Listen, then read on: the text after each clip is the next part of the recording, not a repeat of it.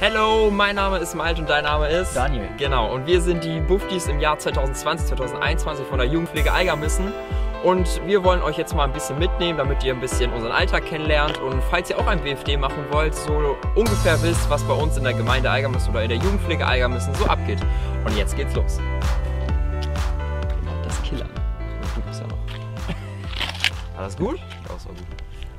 So, kommen wir zu unserer ersten Station im BFDW und zwar zu den Jugendräumen. Davon haben wir genau drei Stück in Eigermissen. Einmal hier in Lühnle die Hängematte, die hinter uns ist. Dann einmal die Gänserampe in Eigermissen und in Großlobke Grolo.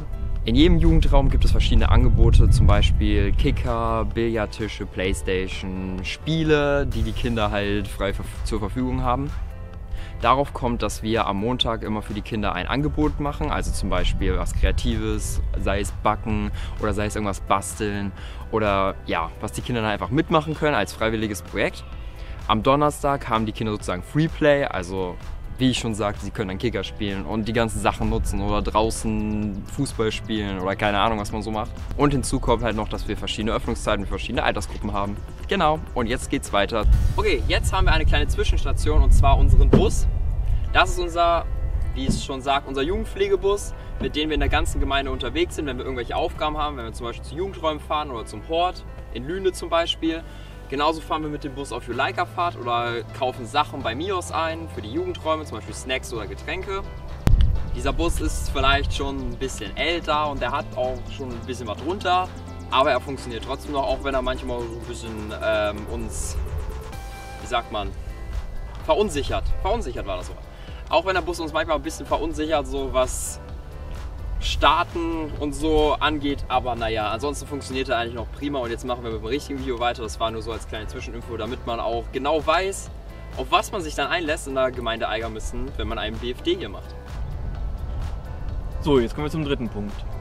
Der dritte Punkt besteht aus fünf Seminarwochen. Aufgeteilt in vier Wochen auf dem EAT und eine Woche als Ausbildung als Juleika. In den vier Wochen auf dem EAT lernt man Sozialkompetenz, interkulturelle Kompetenz und Kommunikation. In der einwöchigen Leica-Ausbildung lernt man das Jugendschutzgesetz, Sexualstrafrecht und die Aufsichtspflicht. Nach dieser einwöchigen Ausbildung zum Leica kann man Jugendräume alleine öffnen. Und jetzt kommen wir zum interkulturellen Café. So, jetzt sind wir bei der vierten Station, dem interkulturellen Café. Dies ist ein ehrenamtlich organisiertes Angebot, das jeden Mittwoch von 15 bis 17 Uhr hier im Sofa stattfindet. Hier werden unterschiedliche Sachen für die geflüchteten Menschen der Gemeinde Eigermissen angeboten. Das geht von Deutschkursen von Anfängern bis fortgeschritten, von Behördengängen bis einfach Kontakte knüpfen oder halt auch Spiele zusammenspielen, bis halt allgemeine Unterstützung im sozialen Leben und halt auch darüber hinaus von Wohnungssuche, Jobsuche und allem, was dazu gehört. Jetzt geht's weiter zum Ort. Außerdem haben wir in der Gemeinde Eggemissen zwei Orte, einen in Algemissen und einen in Lünde.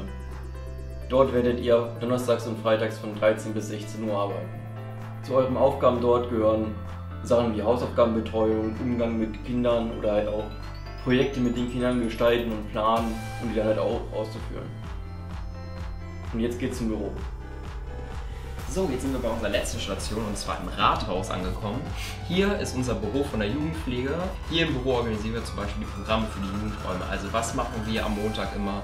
Also Backen, Kreatives, und keine Ahnung was, wir suchen uns Rezepte an den Rechnern raus oder schreiben uns auf, was wir dafür brauchen und gehen anschließend halt einkaufen dafür.